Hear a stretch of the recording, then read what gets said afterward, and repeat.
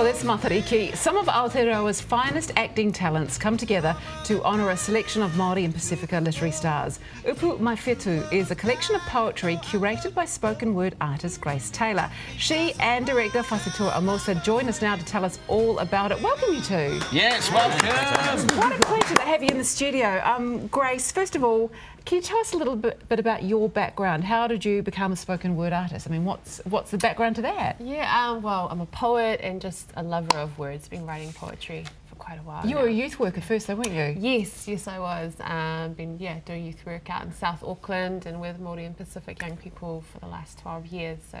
Yeah. And what got you into poetry? Was it listening to music? Because that's where most people start. Yes, it was. And I cannot sing, but I love lyrics. I'm absolute like that's my thing that I focus on when I listen to songs. Oh, so. nice. So who did you used to like? Who did you used to write it? Um, well, Bic Runga was definitely a big songwriter for me that I admired. Um, ben Harper and Kurt Cobain, actually. well, you can actually take any of their lyrics and remove the music from it. They're still phenomenal pieces of work, aren't Yeah, they? definitely. They really are.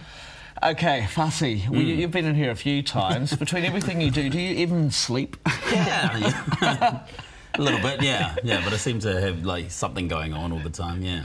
and have you ever worked with Grace before? Yes, we did a show a couple of years ago called My Own Darling, which was turning Grace's uh, work, a body of Grace's work, into a theatre show, which was the first time I engaged with poetry. And then I realised that I had never engaged with poetry. As I've been acting for 18 years, and I suppose we get stuck in our little holes of like you know screen and stage, and we do our little thing. And I realised after doing this show that poetry is awesome, and it's such a, like a great medium, and it's something that I never engaged with.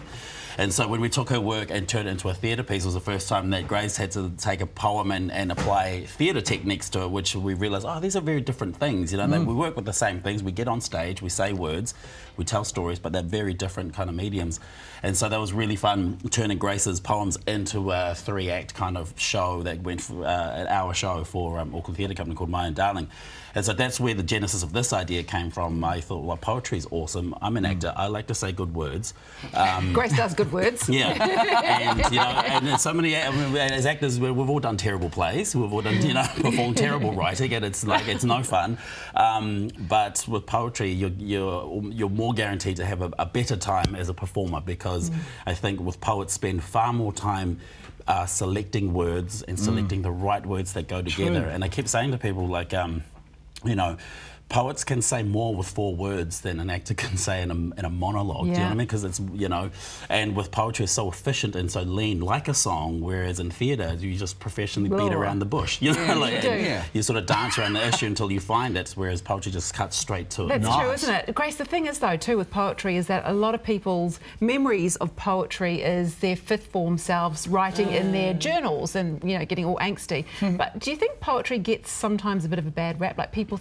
People don't embrace it because they think, oh, it's it's too traditional or it's too fancy. Yeah, or it just becomes this thing that's like, you know, quite bougie or, you know, there's Yeah. a certain aesthetic to it. But um, I think with spoken word poetry, which has been a quite a big movement that's been led by young people in this country, um, it's kind of brought poetry into a more accessible form. Yeah, and yeah. Instagram quotes as well. Well, yeah, yeah, gotcha. And this must have been quite a different work because uh, My Own Darling, it was about your sort of single single motherhood, wasn't it? Yes. So that was your own work. This time you're cr- you're curating other work. Uh, how did you choose the poems to use? To be quite honest, it's hard because Pacific writers and Māori writers is such, I mean, there's amazing wealth to draw from. So, um, yeah, it was quite hard to choose, but it was just selecting the ones that I could, you could, we could see on stage Right. that could be really um, fun to play with for, a, for a performer. And also to sort of when we started this was like, okay, where do we start? If you know, if you're going to pick from this whole pool, so we thought, okay, let's try and start from the beginning as much as possible. So this round of uh, with my feature, we're going back to the old school. You know, like you're finding the trailblazing, you know. Um, poets and find them as we thought let's start there and then you know in the future we could start getting you know when the young poets and people start coming through and with their own bodies of work and then we can start sort of moving Yeah. forward from there but we thought we'd start yeah So then you've got the works. Okay, so you've selected those. Then who is going to be doing the performing of the works? So we have uh, Mia Blake. She's Brilliant. From, we've, uh, we've got Rawiri Paratene, uh, Oh, Nicola wow. Kawana. Um, yeah, Heto Ahi from the um, Naked Samoans, um, and uh, Anna Corbett and Gabi Solomona. And uh, unfortunately, uh, someone had pulled out, so now I'm going to be. Yeah. And so uh, yes, and, and myself. So yeah. Nice, and, and that would be actually quite a responsibility. So Mm. you're looking after other people's work. You've got these stellar performers performing it, including yourself. How did last night go? It went well. Went really good, yeah. it went really well. Yeah. Do you get nervous when I imagine if some of the you know relatives of the poets themselves are in the audience? Yeah, well, we had um, it was uh, uh, uh, Albert, Albert Wendt, Wendt so he was there, and Ben Brown, who's another one of the poets that were performing. Um, we've got a poet from Selina Tusitala Marsh. Hopefully, she comes. Uh, dur- you know, so yeah, it, it is a big responsibility Yeah. for everyone to go. You know, you can't get it wrong. You know, you can't. Um, you can't f- mumble around things if you forget, you know, like so. It's been a really good challenge for the actors as well because, uh, yeah, we don't get to perform poetry a lot, and um, it's it's very specific, and it's very uh, lean. Uh, text, so it's it's good fun and, and a good practice. Yeah. Brilliant. I love how you brought it all together, though. You know, you two obviously love working with each other. yeah, yeah, we work well together. And Grace, I think your dad might have even made my school shoes or designed them at Oh least my back in the day. goodness, yes, Because your dad was a designer at the old famous Clark Shoe Factory, wasn't he? Yes. Oh my goodness. And I used to wear, I used to wear Clark shoes, so Hush there'll be a, lo- puppies, a lot of people that have that have actually probably worn your dad's shoe designs. That is that is As did every other every other child in New Zealand mostly. Um, Grace, I'm really curious. Can you give us a little example of some of your work, Of my work Yeah. or maybe from the show. or show? do some of the show, whatever you prefer? Yeah. Well, I mean, Yeah. we've got. Um, so Oh, here's one, something I prepared Here's earlier. something I prepared. Thank you for asking, Mel. um, could just read a few stanzas from. Um, Yeah. So Selina Tusitala Marsh, she was our poet laureate. We've had her on Um, the show. Yeah.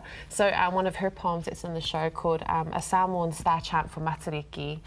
Yeah. So, I call forth Matariki, the eyes of God, to watch over Papatūānuku and her people. I call forth wishes for the new June moon, spoken in shadow corners, steaming in palmy places. I call forth the rising of my six sisters in Ranginui's pre-dawn cloak. I call in greeting Talofa Matali'i, Iorana Matari'i, Aloha Makaili, Kiora Matariki. I call forth the music of bone flutes, the chant, the song, the karakia, guiding the traveller's feet in heavenward eyes.